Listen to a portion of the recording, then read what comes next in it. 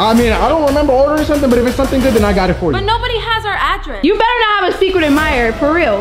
That's gonna be a problem. What if it's for you? What is it? Wait, what? Flowers? Wait, they're flowers? oh my god, JP! What? JP! Click the play button below to watch the full video.